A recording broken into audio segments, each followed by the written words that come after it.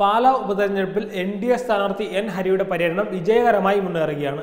ശബരിമല യുവതീ പ്രവേശനവും കാശ്മീർ അടക്കമുള്ള ദേശീയ വിഷയങ്ങളും കേന്ദ്ര സർക്കാരിന്റെ വികസന നേട്ടങ്ങളുമാണ് എൻ ഡി എ സ്ഥാനാർത്ഥി തെരഞ്ഞെടുപ്പിൽ മുഖ്യ വിഷയമാക്കുന്നത്.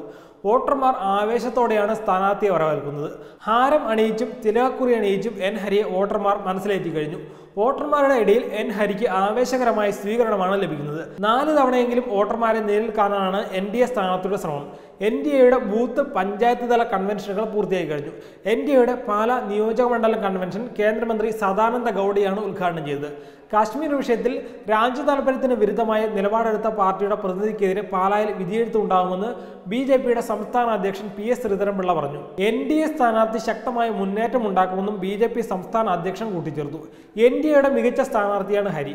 എണ്ണായിരം വോട്ടിൽ നിന്നും ഇരുപതിനായിരത്തിലേറെ വോട്ടുകളിലേക്ക് ഉയർത്തിയ സ്ഥാനാർത്ഥിയാണ് എൻ ഹരി. പഞ്ചായത്ത് തെരഞ്ഞെടുപ്പിൽ മിക്ക പഞ്ചായത്തുകളിലും സാന്നിധ്യം ഉറപ്പിക്കാൻ സാധിച്ചത് ബി ജെ പിക്ക് പ്രതീക്ഷ നൽകുന്നുണ്ട്. പാലാ മുനിസിപ്പാലിറ്റി കൂടാതെ തലനാട് മൂന്നിടവ് കടനാട് തലപ്പാലം ഏലിക്കുളം പാലാ നഗരസഭ കരൂർ രാമപുരം മുത്തോലി കൊഴുവനാൽ മീനച്ചിൽ പഞ്ചായത്തുകളാണ് പാലാ നിയോജകമണ്ഡലത്തിൽ ഉൾപ്പെടുന്നത്. ഇരു മുന്നണികളുടെയും ഉൾപാർട്ടി പ്രശ്നങ്ങൾ എൻ ഡി എ സ്ഥാനാർത്ഥിയുടെ വിജയസാധ്യത വർദ്ധിപ്പിക്കുന്നുണ്ട്. കേരള കോൺഗ്രസിലെ ചേരിതിരിവ് മറനീക്കി പുറത്തു വന്നതും ശബരിമല വിഷയത്തിൽ സി പി എമ്മിന്റെ ഇരട്ടത്താപ്പും മണ്ഡലത്തിലെ ജനങ്ങൾ വിലയിരുത്തി കഴിഞ്ഞു.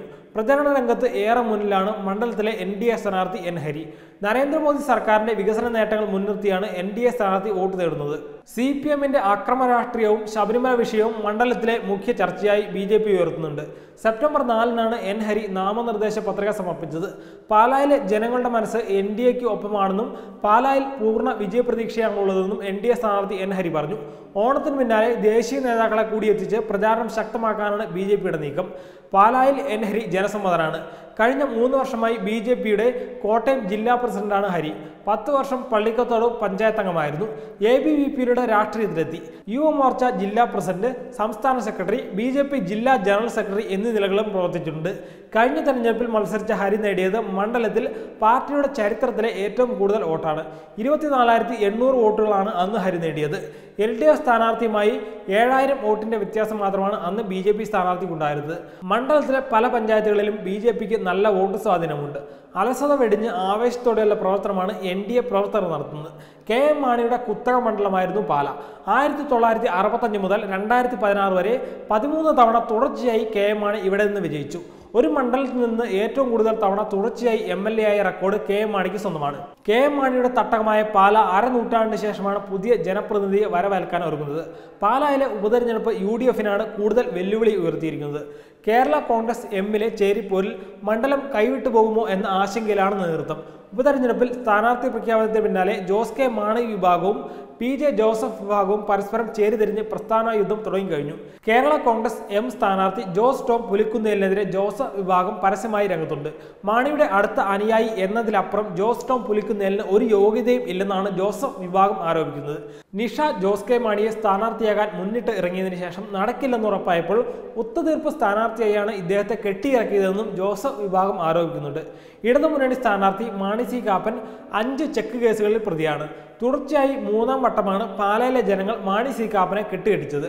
ജനങ്ങൾ തുടർച്ചയായി തോൽപ്പിച്ചിട്ടും വീണ്ടും വീണ്ടും മാണി സി കാപ്പനെ തന്നെ കെട്ടിയിറക്കേണ്ടി വരുന്നത് തെളിയിക്കുന്നത് എൽ ഡി എഫിന്റെ രാഷ്ട്രീയ ഗതികേടാണ് മാണി സി കാപ്പൻ ഇക്കുറിയും പാലായിൽ തോൽക്കുമെന്ന കാര്യം ഉറപ്പാണെന്ന് സി പി എം അണികൾക്ക് തന്നെ അടക്കം പറയുന്നുണ്ട്. തെരഞ്ഞെടുപ്പ് പ്രചാരണത്തിനിറങ്ങുന്ന മാണി സി കാപ്പന് പരിഹാസ്യമായ വരവേൽപ്പാണ് ജനങ്ങൾ നൽകുന്നത്. എൻ ഡി എക്ക് മണ്ഡലത്തിൽ നല്ല വിജയസാധ്യതയാണ്. കേരള കോൺഗ്രസിനകത്തെ പ്രശ്നങ്ങൾ മുതലെടുക്കാൻ സ്ഥാനാർത്ഥിത്വം കൊണ്ട് കഴിയും എന്നാണ് പ്രതീക്ഷിക്കുന്നതെന്ന് എൻ ഡി എ നേതാവും മുൻ എം പിയുമായ പി സി തോമസ് പറയുന്നു. രണ്ടായിരത്തി പതിനാറിലെ നിയമസഭാ തെരഞ്ഞെടുപ്പിൽ യു ഡി എഫ് സ്ഥാനാർത്ഥിയായ കെ എം മാണി നാലായിരത്തി എഴുന്നൂറ്റി മൂന്ന് വോട്ടിന്റെ ഭൂരിപക്ഷത്തിലാണ് വിജയിച്ചത്. യു ഡി എഫിന് അമ്പത്തി എണ്ണായിരത്തി എൺപത്തിനാല് വോട്ടും എൽ ഡി എഫിന് അൻപത്തി നാലായിരത്തി ഒരുന്നൂറ്റി എൺപത്തി ഒന്ന് വോട്ടും എൻ ഡി എക്ക് ഇരുപത്തിനാലായിരത്തി എണ്ണൂറ്റി ഇരുപത്തൊന്ന് വോട്ടുമാണ് ലഭിച്ചത്. തെരഞ്ഞെടുപ്പ് കമ്മീഷൻ പ്രസിദ്ധീകരിച്ച രണ്ടായിരത്തി പത്തൊമ്പതിലെ വോട്ടർ പട്ടിക പ്രകാരം മണ്ഡലത്തിലാകെ ഒരു ലക്ഷത്തി എഴുപത്തി ഏഴായിരത്തി അഞ്ഞൂറ്റി അൻപത് വോട്ടർമാരാണുള്ളത്.